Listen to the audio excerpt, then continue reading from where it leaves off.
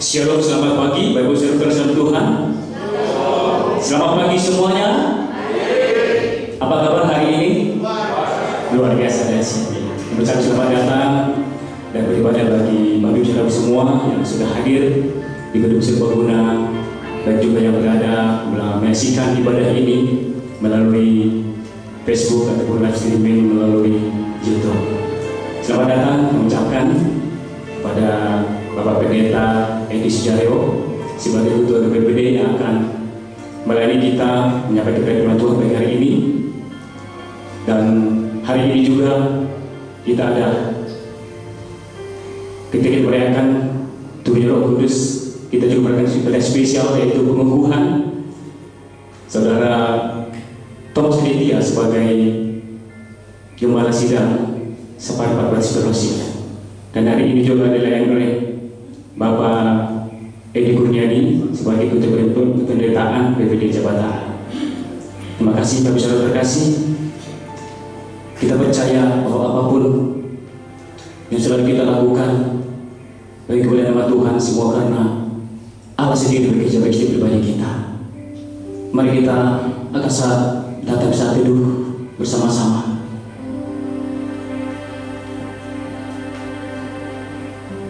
Kita menyediakan hati kita terbaik bagi Tuhan. Roh Kudus dicurahkan pada hari ini akan memberikan kita kuasa untuk melakukan pekerjaan-pekerjaan Allah di dunia ini.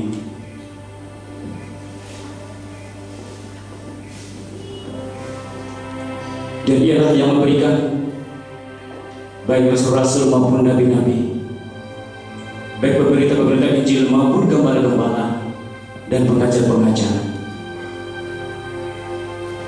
untuk melengkapinya orang-orang kudus bagi pekerjaan pelayanan bagi pembangunan tubuh Kristus. Sampai kita semua telah mencapai kesatuan iman dan pengetahuan yang benar tentang anak Allah. Kedewasaan penuh dan tingkat pertumbuhan yang sesuai dengan kepenuhan Kristus.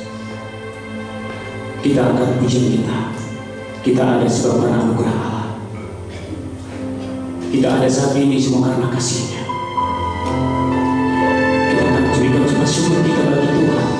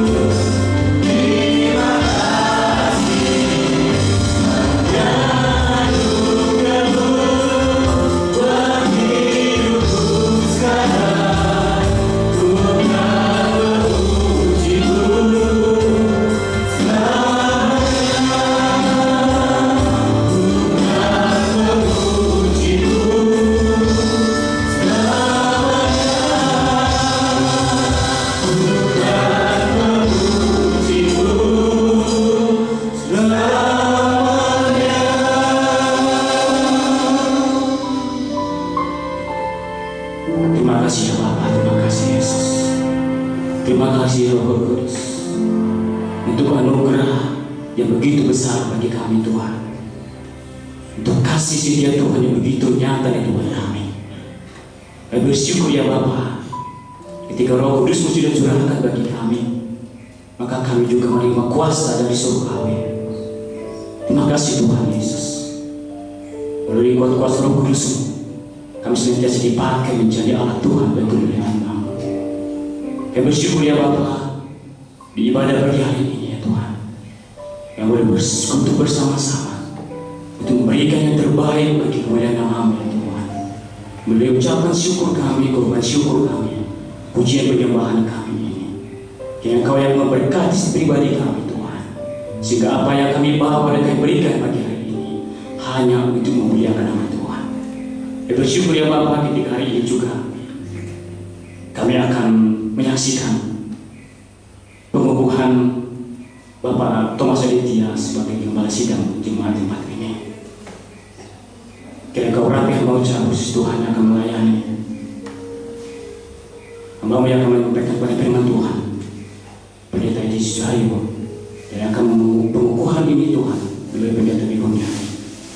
Bila si hambamu ini Tuhan diurapi, dipakai oleh Tuhan untuk menyatakan kuasamu. Sehingga ibadah pengukuhan ini Tuhan dapat berjalan dengan baik dan sesuai dengan kehendak Tuhan. Kami juga menyerahkan setiap umat Tuhan sudah hadir ya Bapak. Di tempat ini baik menyisikan ibadah dari Facebook ataupun YouTube Tuhan. Kira semua diberkati oleh Tuhan. Terpuji dan kaya Bapa. Kami membuka hati kami, kami membuka pikiran kami, memberikan hidup kami sepenuhnya bagi kemuliaan nama Tuhan. Kami menyerahkan ibadah kami ini Tuhan dari awal pertengahan hingga akhir. Namamu terus yang akan bermuliakan. Di dalam nama Yesus kami telah berdoa dan mengucapkan syukur sama-sama kita akan percaya. Amin. Masih ada sukacita Bapak Ibu Saudara terkasih. Ketika Roh Kudus curahkan, ada kuasa di tempat ini. Kita akan angkat pujian kita. Roh Kudus tercurah di tempat ini. Gereja Tuhan akan bangkit. Kita sama-sama terus berjuang untuk menegakkan kasih Allah.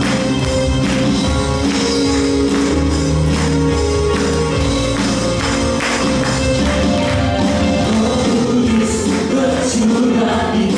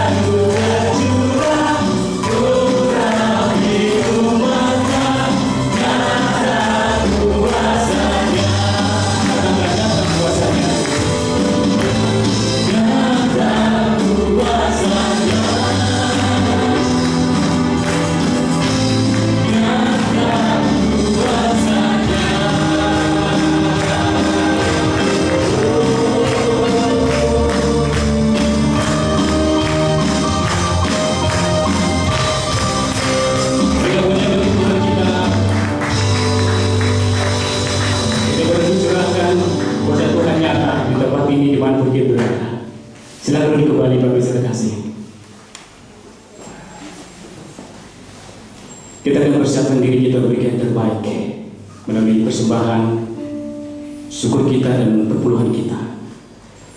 Kami mengundang bertugas untuk maju ke depan. Bagilah memberi terambil dari Mazmur 4 yang kelima. Persembahkan korban yang benar dan percayalah kepada Tuhan. Sampai persembahan kita akan kita angkat pujian. Yang terbaik bagi. Tuhan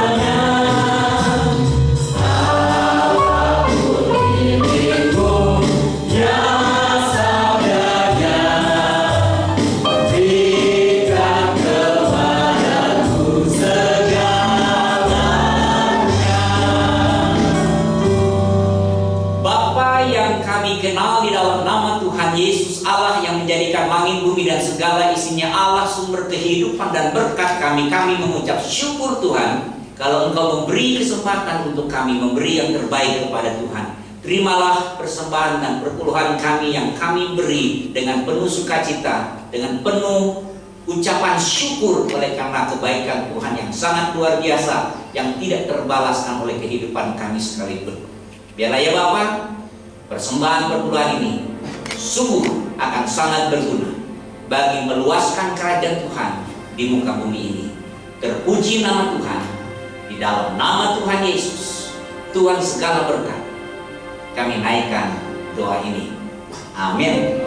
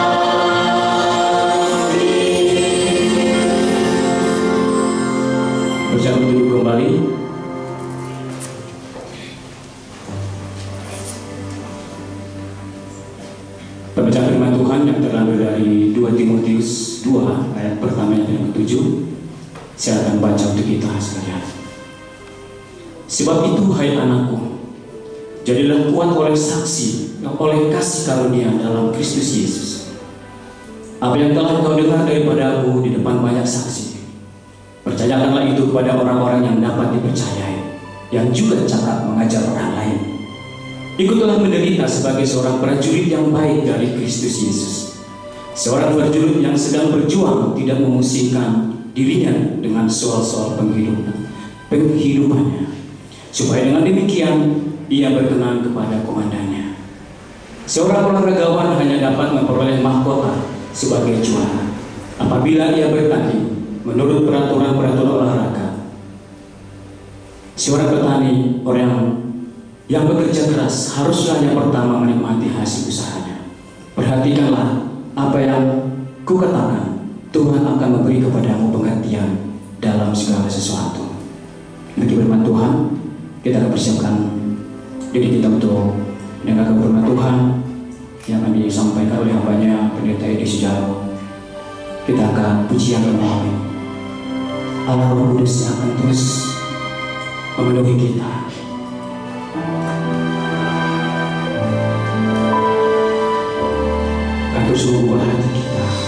Menjadi seperti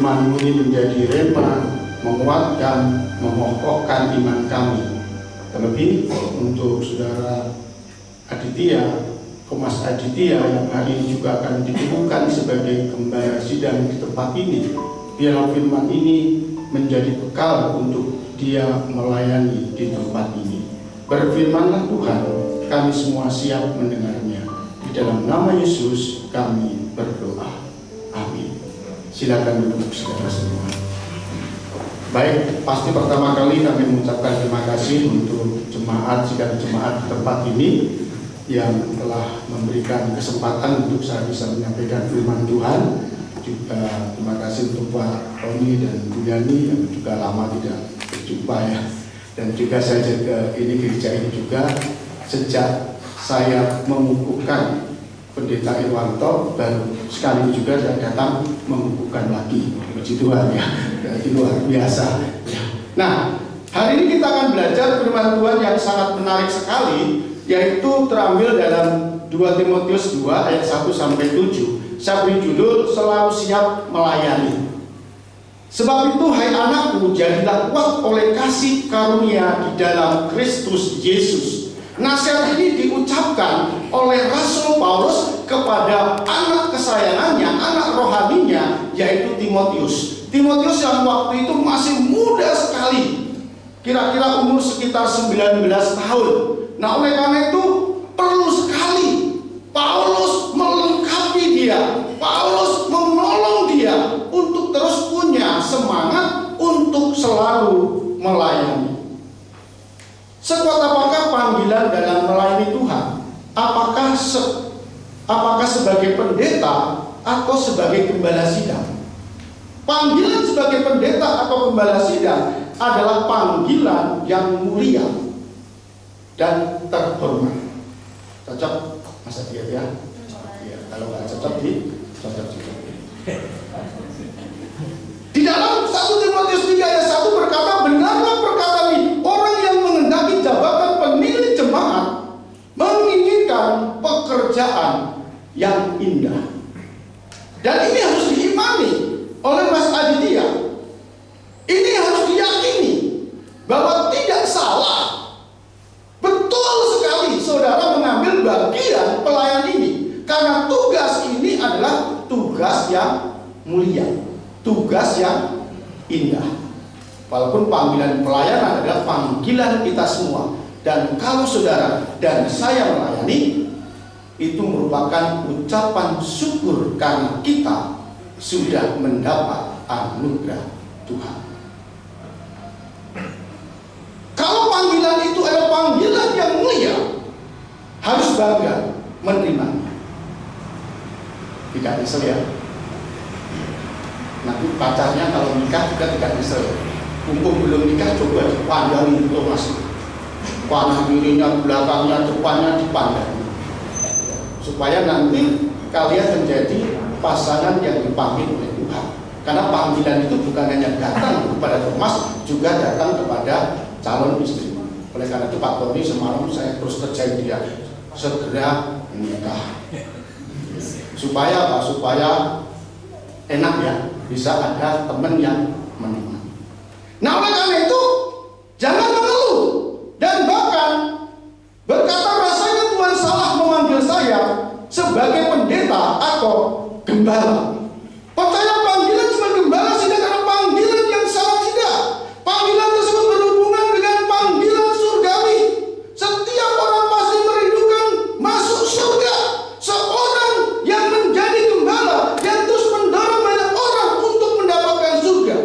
Bukankah panggilan itu panggilan mulia? Gembala harus suka berdoa, harus suka membaca firman Tuhan, membawa orang masuk dalam surga. Tapi Pak Gembala jangan masuk neraka. Ayo, saudara. Itu luar biasa. Itu harus dipegang.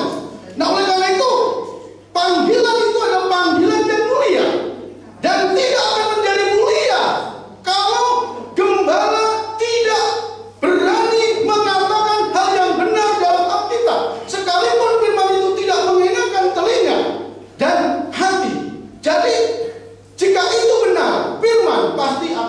Membawa kebaikan. Nah, seorang gembala tidak akan menjadi indah, tidak menjadi mulia kalau panggilan itu tidak dihidupi. Rusaknya panggilan itu adalah kadang gembala sendiri yang merusaknya. Kalau tidak komitmen dalam pelayanan sebagai seorang gembala, itu akan merusak sendiri citra panggilan mulia itu.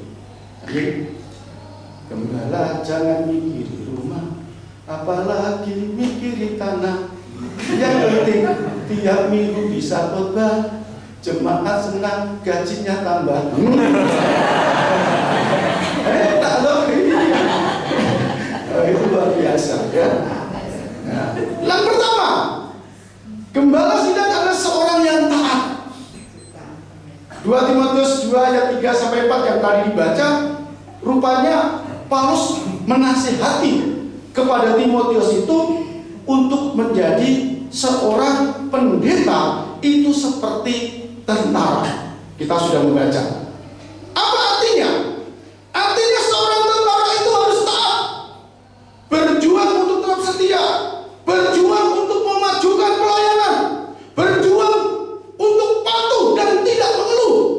Berjuang dengan daya, pikiran, dan dana. Itu harus luar biasa. Ya. Kalau pendeta percaya pada Yesus, berkat mengalir terus, hidup selalu terurus, badan tidak akan kurus. Ya.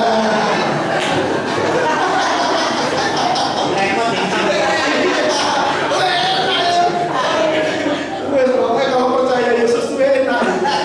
Makanya di sini betul sekali. Harus taat. Kalau tidak taat, gak akan pernah mendapatkan berkat yang luar biasa. Jadi seorang gembala sidang harus taat seperti tentara. Lalu selanjutnya, yang kedua, gembala sidang adalah seorang yang disiplin. Nah itu digambarkan seperti olahragawan. Ya itu saya melihat Messi itu kan pemain top ya, bahkan tidur saja dapat bayaran. Luar biasa ya, tidur kan, us itunya itu hanya tok tok tok tok Watanya itu 20 ribu per detik. Jadi kalau naktir kita itu cukup semenit keberangkat semua. Oh, luar biasa ya kalau sudah ahli ya. luar biasa. Nah oleh karena itu seorang gembala pun harus memiliki kedisiplinan dan Paulus menggambarkan seperti seorang olahragawan. Seorang olahragawan itu adalah seorang yang sungguh-sungguh memiliki kedisiplinan yang baik. Ia menguasai diri untuk terus berkomitmen. Ia terus berlatih dan belajar untuk melengkapi diri. Bahkan seorang gembala yang berdisiplin itu menggunakan waktunya dengan baik. Bahkan menorehkan prestasi pelayannya sampai akhir dengan bahagia. Itu luar biasa, itu penting. Ya, saya dan pendeta Dwi dan pendeta Edwin ini belum mengakhiri pelayanan. Kami ingin mengakhiri pelayanan ini dengan bahagia. Dan itu seorang gembala sidang yang harus mendisiplin dirinya. Seorang olahragawan pasti mendisiplin dirinya dengan baik. Saya tidak bisa disiplin soal makan. Pengennya diet, tapi pengen saja. Tetapi tidak berhasil. Rupanya seorang olahraga harus menjaga postur tubuhnya supaya dia kuat. Di sinilah Paulus menasihati kepada Timotius yang masih muda itu. Kamu harus disiplin supaya panggilan yang mulia itu menjadi tetap eksis di dalam diri karena kamu tetap menguasai diri. Bahkan dalam satu yang lain dia berkata, kuasailah dirimu dengan kamu menjadi seorang pemuda yang suci menjaga kekudusan, menjaga perkataan, menjaga tingkah laku dan bahkan menjadi teladan. Itu seorang hamba Tuhan yang menurut Paulus disiapkan kepada Timotius yaitu harus memiliki disiplin. Dan lalu yang ketiga, karena waktunya 15 menit nanti diundang lagi supaya waktunya lama ya. Gembala sidang adalah gembala yang Saya melihat Paulus memberikan satu hal yang luar biasa gambaran yang ketiga adalah gambaran seorang petani yang tekun. Mengapa seorang petani itu tekun? Dia mengerjakan seorang gembala sidang yang tekun adalah mengerjakan tugas pelayanan dengan setia. Lalu mengerjakan tugas pelayanan dengan tidak mudah putus asa. Lalu mengerjakan pelayanan dengan penuh keyakinan akan diberkati. Nah itu yang semalam kita bicarakan ya. Yakin Mas Andika di sini pasti diberkati. Amin. Mas Aditya ya. Oh iya. Oh, Mas Aditya. Tapi Thomas itu tidak seperti di Alkitab ya. Ragu-ragu dulu baru percaya ya. Mudah-mudahan enggak ya. Lalu mengerjakan pelayan dengan penuh semangat dan bahagia. Seorang petani itu nggak pernah bisa memaksakan paginya untuk panen. Kalau dia menanam, dia harus menunggu empat bulan baru panen. Dia tidak paksa padi besok dua bulan panen, nggak bisa. Oleh karena itu seorang petani harus tekun dan dia yakin ketekunan itulah yang akan membuat padi yang ditanamnya itu panen. Dua hari yang lalu saya mendapat kabar sangat terinspirasi ketika saya baca, tapi akhir membacanya saya kecewa. Orang seorang umur 40 tahun dalam waktu satu bulan bisa membuka minimarket empat tempat. Uh, saya kaget saya. Saya mulai membaca.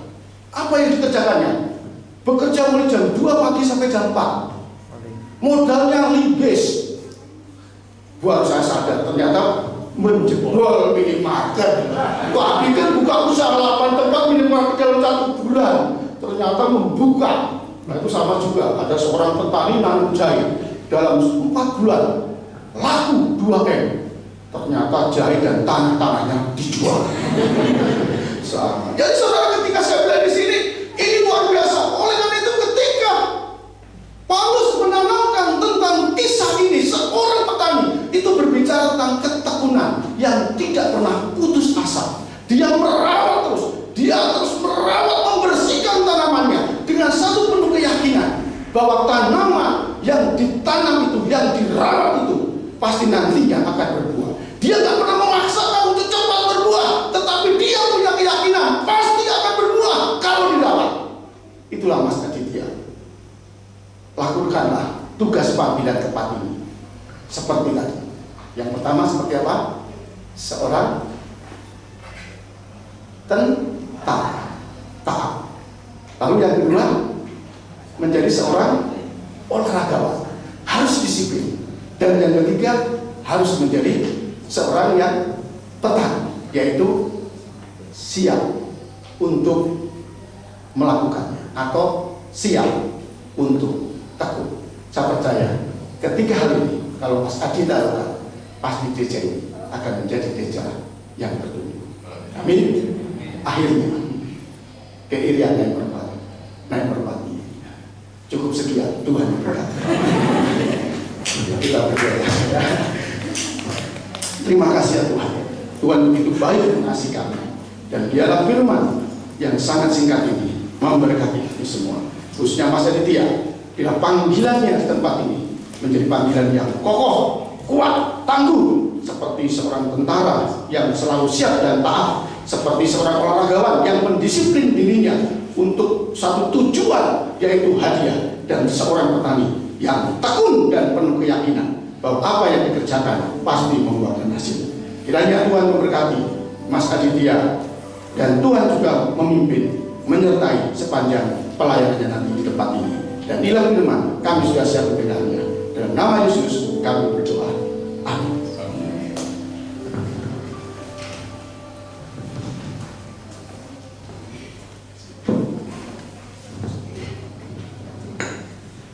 Puji nama Tuhan, firman Tuhan yang sungguh berkati. Amin. Kita diberkati. Secara khusus Bapak Gembala Sidang yang akan dikukuhkan pada pagi hari ini. Siap untuk taat, siap untuk disiplin, siap untuk tekun. Puji nama Tuhan. Kita akan meresponi firman Tuhan pada usaha terkasih. Sebelum kita masuk di ibadah pengukuhan, kita angkat firman Tuhan. Kita pujian pujian kita. Tugas kami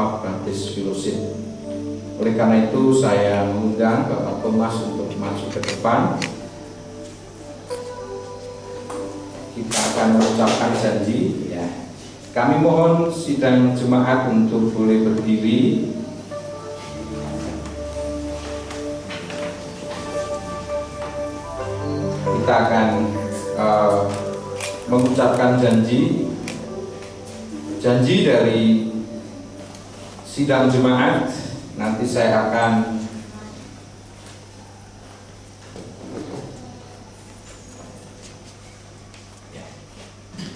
nanti kita akan mengucapkan janji sidang jemaat akan mengucapkan janji saya beri hitungan tiga kali kemudian Pak Thomas juga akan mengucapkan janji kepada jemaat. Jadi jemaat mengucapkan janji kepada Pak Thomas dan Pak Thomas mengucapkan janji kepada jemaat.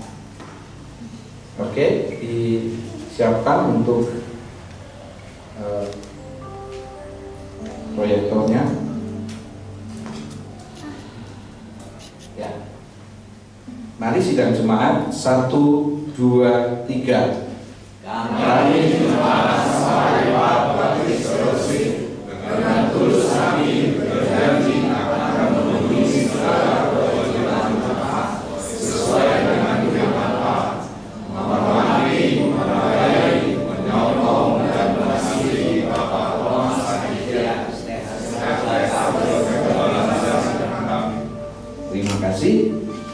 Thomas akan mengucapkan janji bagi jemaat. Saya, Thomas Aditya, STH, dengan keyakinan penuh menerima tugas untuk menjadi gembala sidang Safari Park Baptist Fellowship. Selanjutnya saya berjanji untuk memenuhi dengan sebaik mungkin kewajiban saya sebagai gembala sidang sesuai dengan pimpinan Roh Kudus. Terima kasih.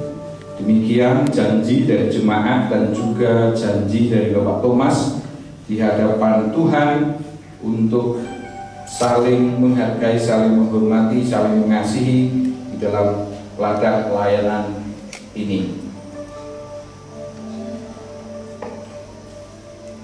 Selanjutnya saya mengundang Pendeta Edi Sujarwo, Pendeta Edwin Halim untuk kita bersama-sama Pak Thomas mengambil posisi untuk kita doakan, jemaat juga akan mendoakan, jemaat tetap berdiri. Kita akan mendoakan Pak Thomas. Bapa yang penuh kasih Tuhan Yesus kepala gereja yang mendirikan gereja kami datang kepadamu ya Bapa di dalam nama Kristus Yesus. Dengan pertolongan Roh Kudus kami menghadap tatamu yang suci memohon berkat atasmu terhadap saudara kami Bapak Thomas Aditya. Kiranya rohmu akan menyertainya di dalam pelayanan penggembalaan di gereja ini Tuhan.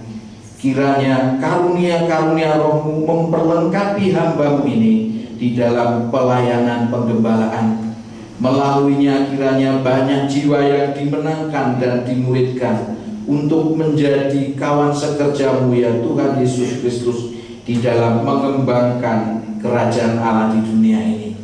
Kami berdoa kiranya kekuatan terus ada di dalam dirinya karena penyertaan Tuhan.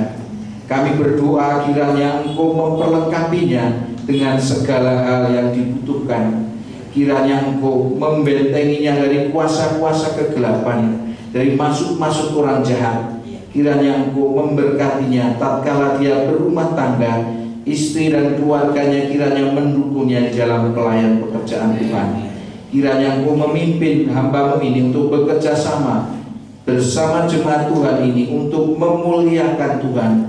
Terima kasih Bapak. Dengan pertolongan Roh Kudus hambamu berdoa di dalam nama Tuhan Yesus Kristus kepadamu ya Bapa di surga. Terima kasih Bapak. Haleluya. Amin.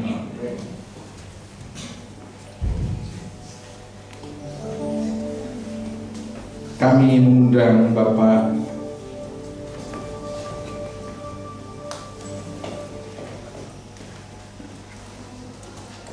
Bapak Tony Sumampo untuk uh, menandatangani piagam pengukuhan gembala sidang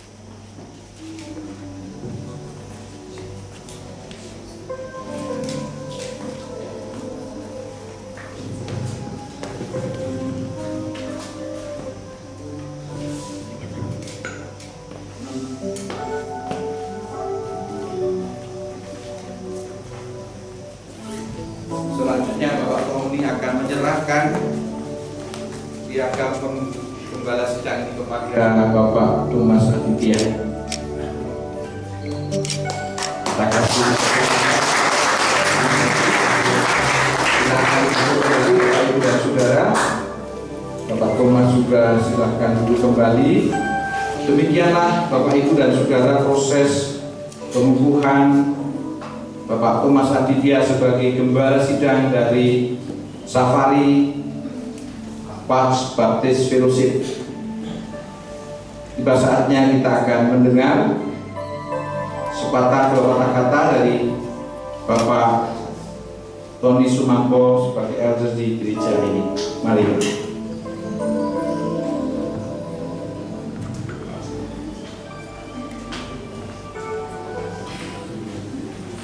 Saudara-saudaraku yang terkasih di dalam nama Tuhan Yesus Kristus, Bapak Pendeta Dwi Junadi, eh, yang kami hormati beserta Ibu dan Bapak Edi Sudarwon beserta Ibu dan Bapak Ed, Pendeta Edwin dengan Ibu dan juga Pendeta Muda Thomas Aditya Eh, nggak aneh pak. Bapak bapak ibu ibu sekalian. Kalau yang namanya Thomas pasti besar. Selama saya tahu demikian mungkin ada yang kecil eh, langsing itu itu luar biasa. Jadi kami sangat berbahagia eh, pada hari ini eh, gereja SPBF di Bogor ini, Cisarua Bogor, eh, dikukuhkan seorang eh, gembala sidang yang akan memimpin di SPBF eh, di Cisarua ini. Sungguh sangat bahagia, saya pikir rekan-rekan sekalian juga eh, mempunyai perasaan yang sama. Tadi disampaikan kenapa Pak Pendeta Edi Sojarwo sudah hampir 4 tahun lebih banyak nggak nggak pernah ke sini. Eh, betul sekali, jadi saya punya prinsip begini Pak. Taman Safari dibangun dimulai dari sirkus. Kita menjalani sirkus lebih dari 20, lebih hampir 30 tahun. Mulai dari anggota 96 orang. Pada saat seorang pendeta datang untuk melayani kami.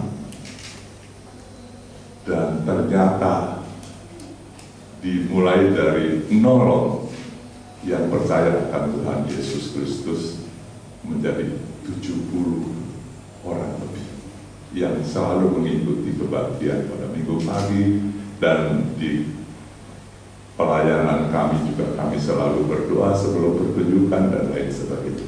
Luar biasa Tuhan sangat memberkati. Dari situlah kita juga diberkati menjadi taman safari yang besar ini. Ibu Bapak sekalian kita punya 1.200 tenaga yang bekerja di Taman Safari ini. Dari 96 sekarang 1.200 belum berkeluarga. Kalau dulu sirkus nggak ada keluarga.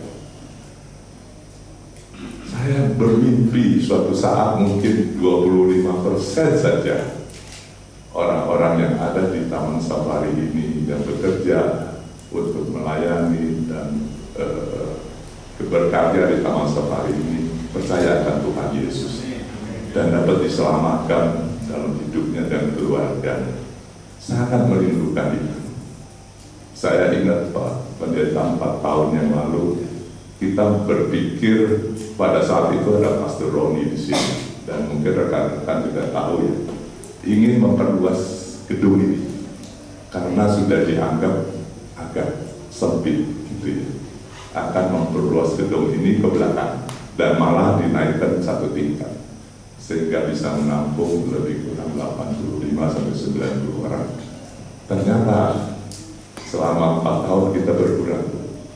Berkurang hanya ada jemaat yang hadir lebih kurang 35 sampai 45 antara itu saya pikir termasuk para pemain musik dan penyanyi dan lain sebagainya.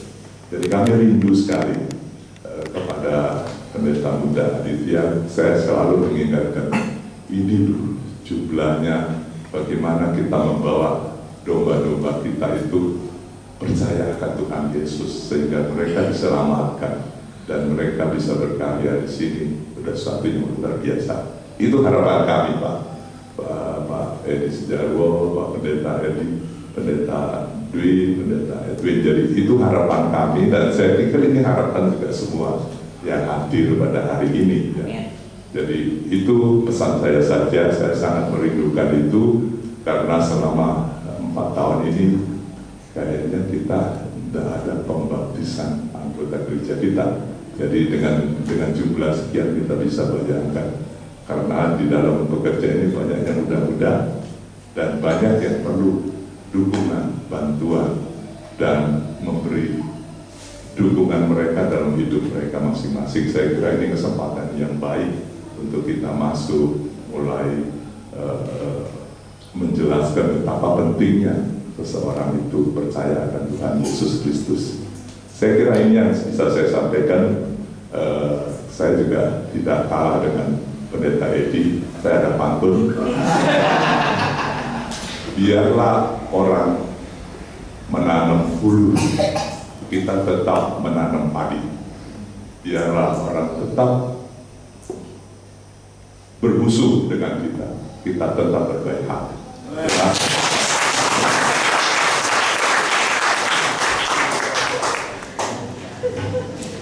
Jangan makin jauh. Mari Bapak Ibu Saudara saya yang bagi berdiri tutup dengan kita.